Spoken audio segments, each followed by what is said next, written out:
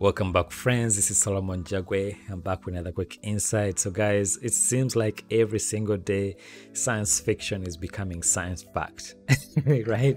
So, there's a new robot that has just shown up on the scene. Uh, this is called Astribot it's amazing at the dexterity that it's displaying over here. But it seems like every time like you turn around just like artificial intelligence has been you showed up on the stage and is taking artist jobs and you, all these things that we are you know uh, concerned about and then robotics is advancing at such a fast pace. You know this robot has dexterity that right now it's a fixed pa- like platform but i can imagine this is going to become more, more mobile like a humanoid robot. And as they are getting more dex like dex getting more dexterity you can see how this is going to be applied like either you know it's going to end up on the battlefield at some point right?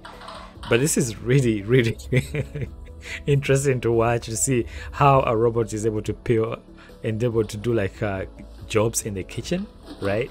Think about all you the single guys out there in the future, or maybe in the near future, who have like a, a robot one assistant, someone to cook for you, you know, and for you to be able to be like a bartender. You know like those scenes in star wars when you have like uh, these characters the sci-fi characters that are attending to humans and other people. Well this looks like one of those. Like bars might actually become equipped with these guys. Look at that. It's able to open a bottle. It'll be able to tell like you know what kind of food you want. You may order it on maybe on a mobile device. And it's being able to pour wine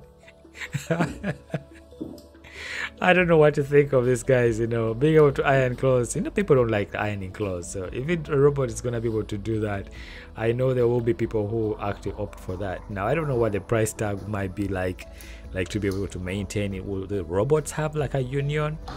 Will they have representation? You know, I mean, what if they get like, you know, artificial intelligence? Of course, they're going to be using artificial intelligence, but of the concern for humans is them becoming self-aware you know things like that or going rogue like in terminator kind of thing you know. So but it's just watching this raises so many questions. And the thing is i'm always creating like art that has robotics in it. So there's things like this i find interesting especially for example here it being able to mimic a human human motion and things like that i'm thinking of motion capture it's crazy guys. So let me know guys what you think about this new astrobot if you're even into robotics. I'm very curious about it. Thank you for joining me. Please stay safe. Dare to dream big. Don't give up on your dream whatever you do. I mean look at this. The robot is even able to paint. Oh my goodness. What's the world coming to? See you in the next video guys. Bye for now